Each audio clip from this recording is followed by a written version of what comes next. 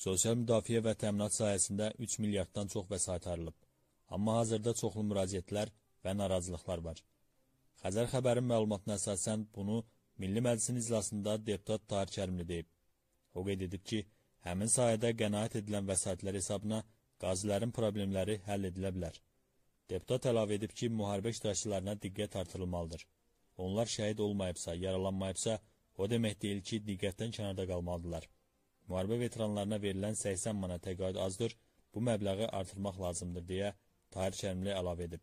Qeyd edək ki, həm 1-ci Qarabağ müharibəsi iştirakçılarına, həm də Vətən müharibəsi iştirakçılarına prezidentin aylıq 80 manat təqaüdü verilir.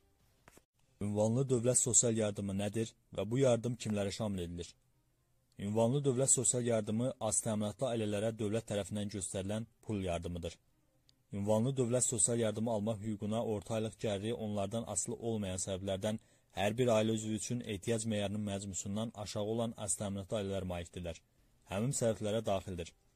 Ailə üzvlərinin əmək qabiliyyətsiz olması, ailənin əmək qabiliyyətli üzvünün birinci dərəcə əlilliyi olan şəxsə 8 yaşına çatmamış uşağa və ya sağlamlıq imkanları məhdud 18 yaşındakı uşağa qulluq etməsi, 23 yaşına dək əyani təhsil alması, müvafiq icra hakimiyyəti orqanında dövlət orqanının və ya hüquqi şəxsin ləğv edilməsi və ya işçilərin sayı və ya ştatların ixtisar edilməsi ilə qədər işsiz kimi qeydiyyata alınması, vəfat etməsi, məhkəmə tərəfindən itkin düşmüş və yaxud ölmüş hesab edilməsi, azadlıqdan məhrum edilməsi, ailə üzvünün olduğu yerin məlum olmaması. Ehtiyac meyarı dedikdə, əhalinin əsas sosial-demoqrafik qrupları üzrə yaşayış minimumundan asılı olaraq ünvanlı dövlət sosial yardımının təyin edilməsi məqsədi ilə dövlət büdcəsi ilə birgə hər il üçün təsdiq olunan hədd nəzərdə tutulur. Azərbaycan Respublikasında 2022-ci il üçün ehtiyac meyarının həddi 3 dekabr 2021-ci il tarixli qanuna əsasən 2022-ci il yanvarın 1-dən ehtiyac meyarının həddi 200 manat təşkil edir.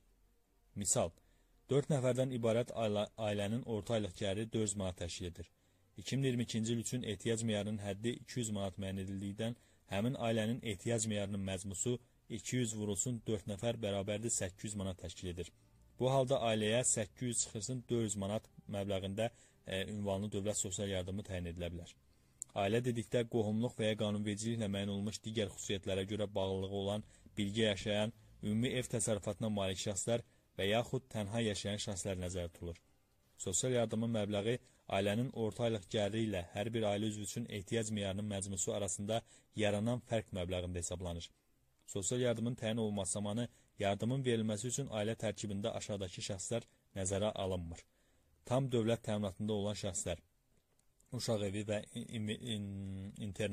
internatlarda ahıllar və əlilliyi olan şəxslər, o cümlədən sağlamlıq imkanları məhdud 18 yaşındakı uşaqlar üçün sosial xidmət müəssisələrində, xüsusi təhsil müəssisələrində yaşayan şəxslər, müddətli həqiqi hərbi xidmətdə olan şəxslər, cəza çəkmə müəssisələrində cəza çəkən şəxslər, axtarışda olan şəxslər, Azərbaycan Respublikasının ərazisində yaşamayan Azərbaycan Respublikasının vətəndaşları, əcnəbilər, sosial yardım onu almaq üçün müraciət edilən ayın birindən etibarən bir il müddətinə təyin olunur.